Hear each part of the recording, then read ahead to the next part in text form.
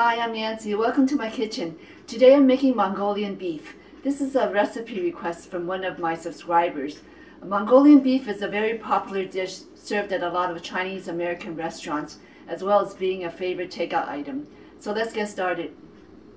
So let's review the ingredients. I have beef, green onions, ginger, garlic, chili peppers, baking soda, tapioca starch, cornstarch slurry, brown sugar, light soy, Shaoxing wine, sesame oil, white pepper, and low sodium chicken broth. Okay, let's get some prep work done. We'll begin with the beef. We need to slice it against the grain into about quarter inch slices.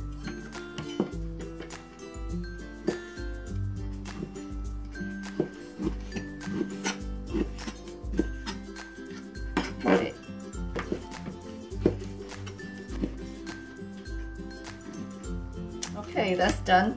Let me put away the chopping board here. I'm using chuck eye steak here. It's a relatively inexpensive cut of beef. So I'm going to share a secret ingredient that Chinese restaurants use to tenderize tough cuts of meat, and that's baking soda.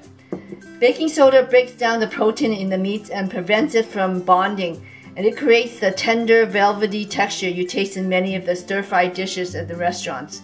So the proper ratio is one teaspoon of baking soda to one pound of raw meat. So what we're going to do here is sprinkle, sprinkle the baking soda over the meat and we're going to work it into the beef slices. Okay, we just want to make sure that it's evenly coated. So now we need to let it sit for 15 minutes.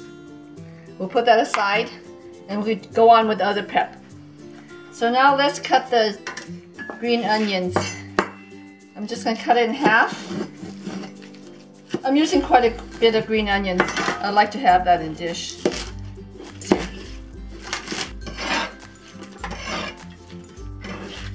Okay, next we're going to peel and mince the ginger. We're just to scrape the skin off. Slice and mince it.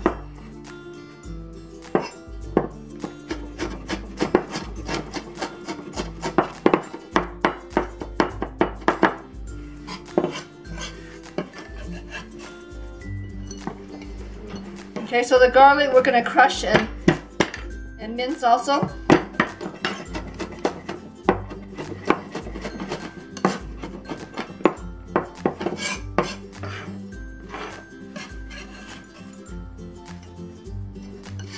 Okay, that's done. We're gonna leave the peppers whole. We'll be back in 10 minutes to finish up with the beef. Okay, now the 15 minutes is up. Now we have to rinse out the baking soda thoroughly from the beef. I'm using cold water. And we're going to rinse it a few times. Otherwise, it leaves a, kind of like a chalky taste to the beef. Okay, that looks good. So next we need to dry the beef so we can add the marinade. Drain off as much water as you can.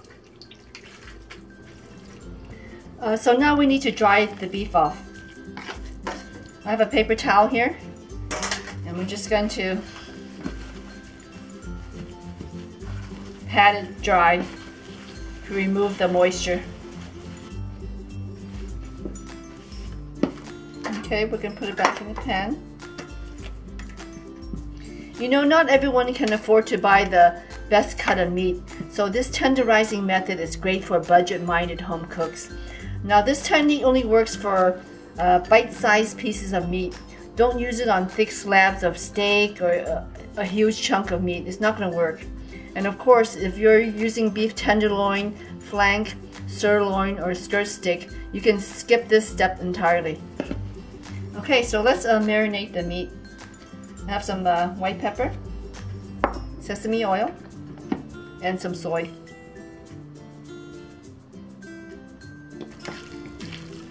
Going to marinate this and let it sit for 15 minutes and then we'll be back. Okay, 15 minutes is up. So the next step is to coat the beef with uh, the tapioca flour. uh, tapioca starch, sorry. We just need to make sure every piece is coated with the starch. All the slices look well coated with the tapioca starch. Let me wash up and let's get cooking. Okay, so now we're going to um, fry the beef. I have a pot of oil. It's probably at 350, 375. The oil is ready is when I put a chopstick in and it bubbles up. So I'm going to cook the beef in uh, two batches here. And the oil is going to splatter a little bit. There's probably still a little moisture from the from the beef.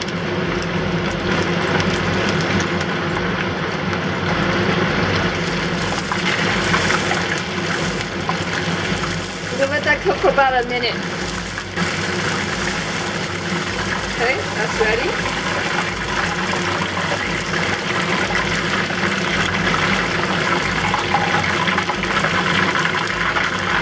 It's nice and crispy. Try the next batch.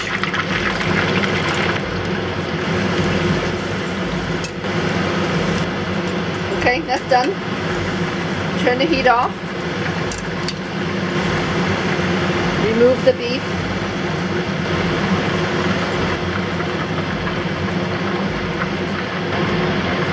Set this oil aside. The pan is set at like a medium high. I'm adding oil back in.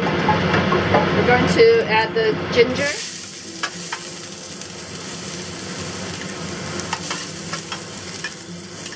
The ginger, garlic, and the chili peppers. Saute it for like 30 seconds until it's fragrant. It's smelling really great right now. I'm also going to add the green onion tops.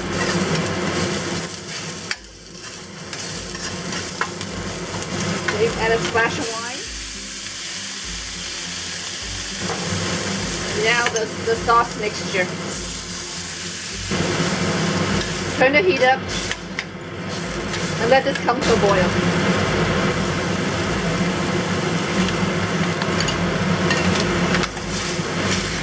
Okay, so now I'm going to add the cornstarch slurry. You don't need to add all of it. Just add enough to thicken the sauce the way you like it. And this looks good to me. It's enough to thicken the spoon or the spatula. See? That tastes pretty darn good. We'll add the green onions. Add the beef back to the pan.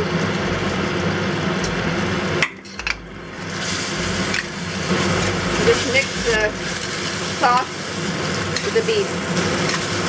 Okay, and that's, that's done. We can plate it.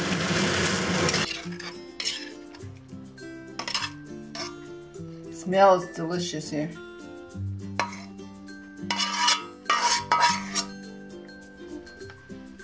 And here we have Mongolian beef. Savor the tender, succulent slices of beef and serve this over steamed rice to soak in all the garlic ginger flavor sauce. Add a side of vegetables and this is going to be better than any takeout you can order. Enjoy!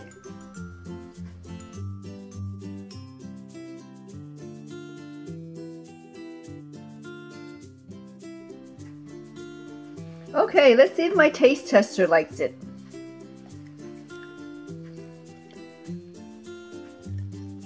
Oh, she's taking her time. I think she loves it. Thanks for watching. Be well and be healthy. See you next time.